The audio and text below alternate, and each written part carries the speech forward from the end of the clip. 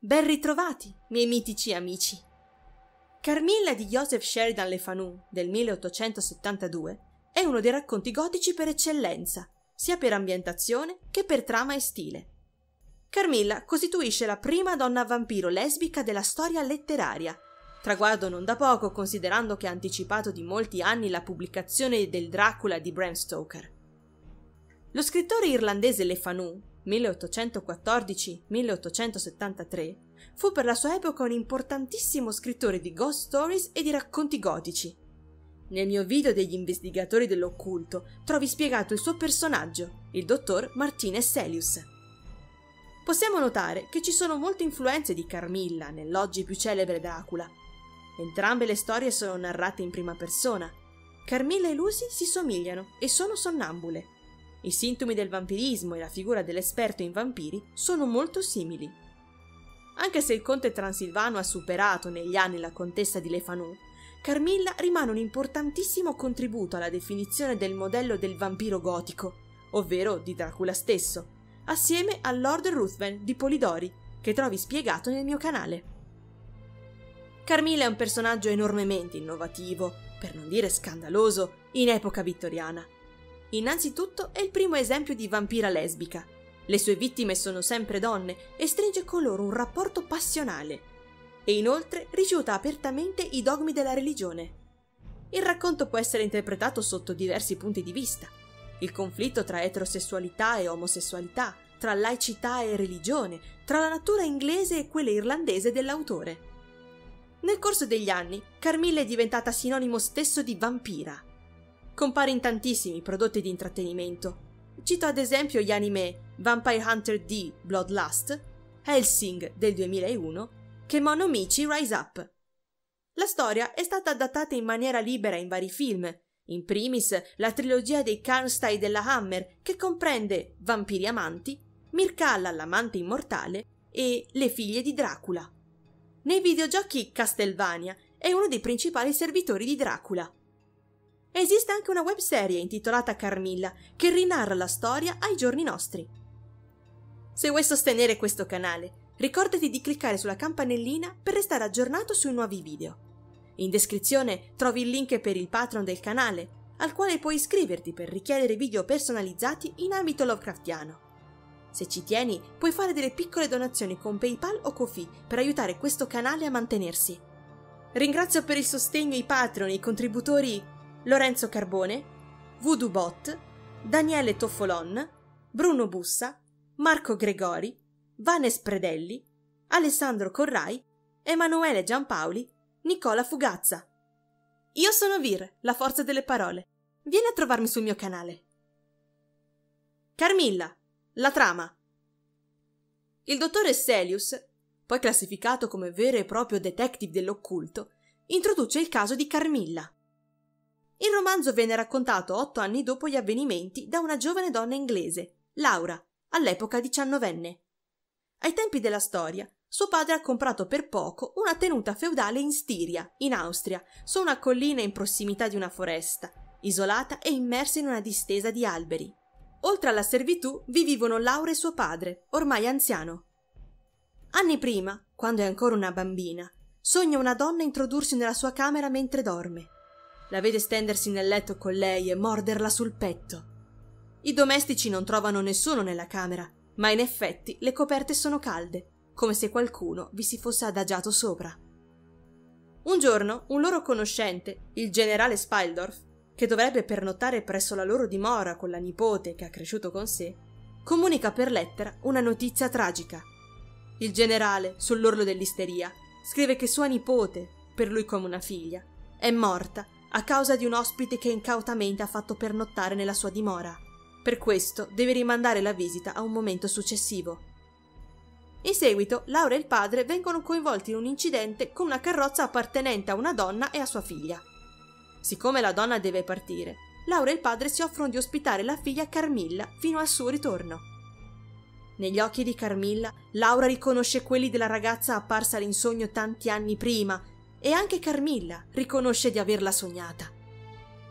Carmilla ha un atteggiamento piuttosto languido verso di lei, giungendo ad abbracciarla e a baciarla frequentemente, con grande perplessità della ragazza, Carmilla si riferisce a lei affermando che sono legate e che lei le appartiene per sempre, aumentando la confusione e la preoccupazione della giovane.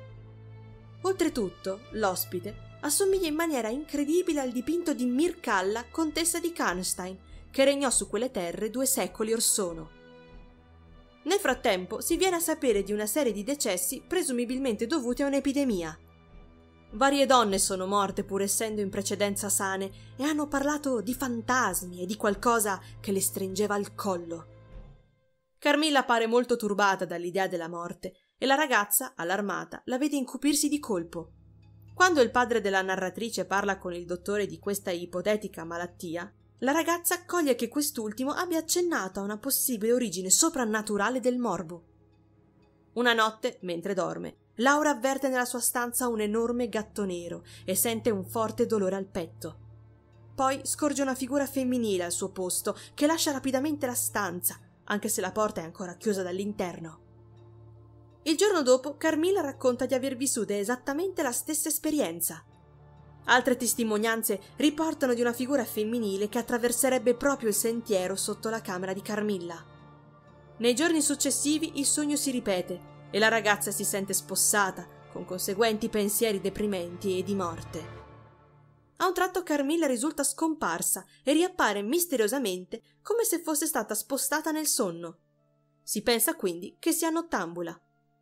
Da un esame medico, inoltre, risulta che Laura ha una macchia di sangue sotto il collo. Laura e suo padre, per circostanze fortuite, incontrano il generale Spardorf, la cui figlia avrebbero dovuto ospitare in precedenza. Il generale si reca con Laura e il padre alla ricerca della tomba di Mircalla di Karstein e racconta loro le circostanze dietro la morte della sua figliuola.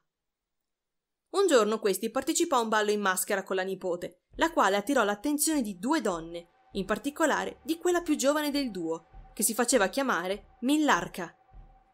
La donna mascherata più anziana, anche se dall'aspetto non lo sembrava affatto, dimostrò di conoscere il generale da tempo, ma questi non la riconobbe affatto.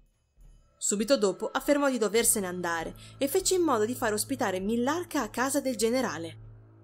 Da allora la nipote del generale cominciò ad accusare gli stessi sintomi e gli stessi incubi di Laura, mentre Millarca, misteriosamente, spariva la notte dalla sua camera. Il medico consultato affermò che i segni sul corpo della giovane erano stati sicuramente lasciati da un vampiro. Il generale, seppure incredulo, una notte sorvegliò la nipote e trovò una bestia nera che l'aggrediva. Una volta attaccata, questa si rivelò Millarca, che si dette alla fuga, mentre la giovane morì per il dissanguamento. Vicino alla sua tenuta sorge la casata dei Karnstein, estinta da secoli, dalla quale la moglie del generale discendeva. Mentre la esplorano, appare Carmilla e il generale si scaglia contro di lei, ma invano, siccome la donna lo disarma facilmente e fugge. Mircalla, Millarca e Carmilla. Sono dunque la stessa persona. La compagnia, grazie all'aiuto del barone Vordenburg, appassionato del tema dei vampiri, trovano la tomba della contessa Mircalla, morta oltre cento anni prima. Viene avviato un procedimento legale e la bara è scoperchiata. Al suo interno trovano il corpo di Carmilla, non decomposto e che mostra segni di respirazione. Il corpo viene estratto e vi viene conficcato un paletto nel petto, si ode un urlo fortissimo. Il capo viene tagliato e il corpo bruciato. Da allora quella contea non venne più infestata dai vampiri, anche se Laura non avrebbe mai dimenticato l'amica. Carmilla spiegata. Carmilla, il cui vero nome è contessa Mircalla di Karnstein, è una donna alta, bella e aggraziata, dalla carnagione brillante, i grandi occhi sono scuri e lucenti e possiede folti e lunghi capelli bellissimi di un castano scuro con sfumature dorate. Il suo bellissimo volto ha qualcosa di magnetico che attrae indissolubilmente. Visivamente le sue caratteristiche riconducibili al colore nero sono l'opposto di quelle angeliche, i capelli biondi e gli occhi azzurri di Laura. I suoi movimenti sono oltremodo languidi, ha un atteggiamento molto riservato e contenuto. Mircalla di Karnstein risulta morta da oltre cento anni e si dice appartenesse a una famiglia molto malvagia. Viene rivelato che un antenato del barone Vordenburg, che amava Carmilla in vita, ne aveva nascosti i resti per salvarla dal processo di vampirismo dopo la sua morte in giovane età. Tempo dopo si pentì del suo gesto e lasciò delle indicazioni affinché qualcuno potesse ritrovare la sua tana. Carmilla viaggia con una donna che dichiara di essere sua madre e che viene chiamata contessa, anche se pare essere più autorevole di quanto non denoti la sua carica. Del fatto che parli molte lingue, che sembra più giovane della sua età e che pare avere conosciuto l'anziano generale molti anni prima, fanno intuire che ella stessa sia una vampira. In più occasioni la contessa abbandona Carmilla a casa di qualcuno, forse contro la volontà della figlia, siccome questa sembra triste, a meno che non reciti. Si tratta sempre di famiglie nelle quali vi è una donna che la vampira inizia a tormentare languidamente per depredarne il sangue. Accenna in maniera molto vaga ad aver sofferto gravemente di malattia tantissimo tempo prima. I suoi ricordi del passato sono molto vaghi. Cita il fatto di essere stata ferita durante un ballo da un amore che stava per rubarle la vita. Nel corso del racconto, Carmilla manifesta per la protagonista un'attrazione sessuale nemmeno troppo velata si fanno continui riferimenti a baci e carezze che le rivolge, ma Laura trova in lei aspetti che le piacciono e altri che rifugge. La narratrice prova per lei sensazioni conflittuali tra libido latente e repulsione, quando Carmila la ghermisce e ne abbassa la resistenza con la sua voce suadente, potenzialmente ipnotica. Più in generale, Laura prova per lei amore e odio allo stesso tempo. Carmilla specifica che si sente legata intimamente all'amica a un livello praticamente morboso.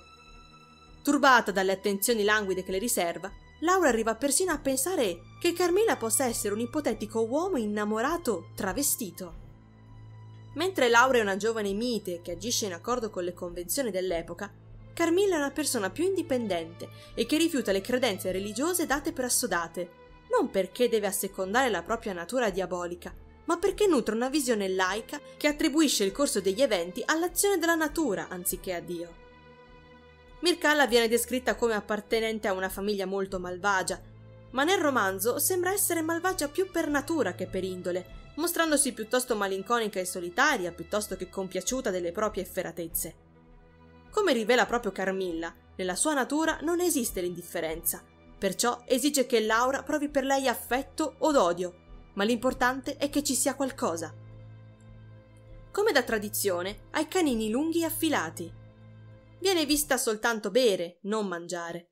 Si alza molto tardi e sembra stancarsi presto camminando all'aperto. Come vampiro ha i classici poteri della tradizione, l'eterna giovinezza, la capacità di tramutarsi in animale, in questo caso un gatto nero, mentre Dracula un cane nero, una forza sovrumana ed è in grado di attraversare le pareti come un fantasma senza essere vista. La sua stretta lascia un intorpidimento dal quale ci si libera solo dopo tempo. In questa versione i vampiri possono restare fuori dalla tomba per molte ore e anche con la luce del sole, ma prima o poi devono tornarvi. In particolar modo, i giovani che muoiono tragicamente hanno alte chance di tornare come Nosferatu per il loro legame con il mondo terreno non ancora reciso. I vampiri come Carmilla si fissano su determinati obiettivi, come una vittima designata, e sono disposti a sopportare molte privazioni pur di raggiungerli, anche se questo a conti fatti è molto rischioso per loro. Non possono privarsi del nome che avevano in vita, ma possono soltanto storpiarlo o anagrammarlo.